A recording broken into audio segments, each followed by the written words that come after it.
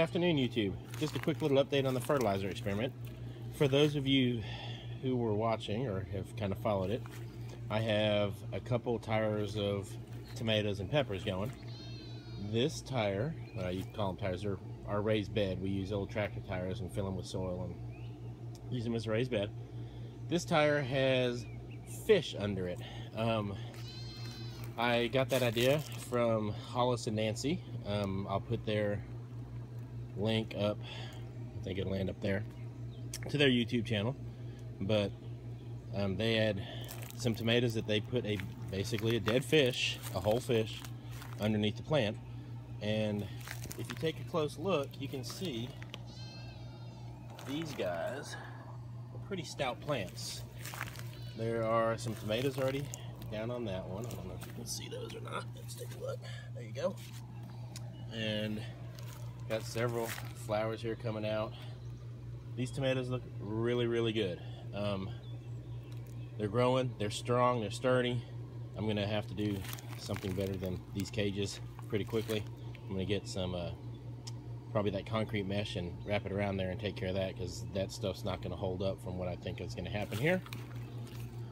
And then over here, I have um, just worm castings and you know regular composted manure and whatnot.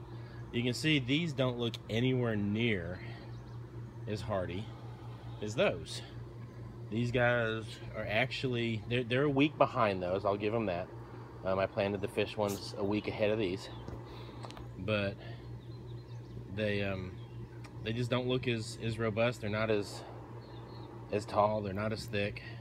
There are a couple tomatoes down here. This is cherry tomato down here, but you can see this this little plant's just it's itty bitty. Um, this guy over here, I mean they're they're growing, they're doing fine, but they are not doing what this guy is doing over here. Now, not everybody has a an easy way to get fish for fertilizer. Um, I happen to have a pond full of them. So yeah, that was pretty rough. My daughter and I had to go out and go fishing for a little while to catch a couple small fish to put in there. It's tough work, let me tell you. But like I said, for those of you who have maybe read about it, thought about trying it, um, the, so far the fish fertilizer, these guys are really taking off. The uh, worm castings, not so much. Um, I just noticed there's a tomato. Let me see if I can get it so you can see that guy. There's a tomato down in there on that one. Um, this tire over here also has, excuse me, worm castings for it as well. It's it's doing pretty well. I mean, one of them is is pretty large. The other one, not as much. But but anyway, that's kind of the the quick update on that. We will be planting some more of these raised beds. I did just get back a little while ago. You see I got I got four of these suckers, man. Um, guy about 20 miles away answered a Craigslist post and said, hey, you're looking for tires, I have some. If you'll come get them, I'll load them on the trailer. These things are huge. Um, they are about as tall as Cindy is.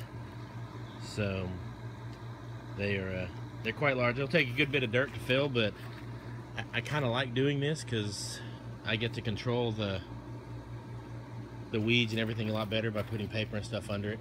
So, but anyway, um, that's the update on the fertilizer experiment. I will post another one as we start to, to harvest some of these to see how we're looking. Um, I do appreciate you watching. Hit like, hit subscribe, and share with your friends. I appreciate it. Thanks. Bye-bye.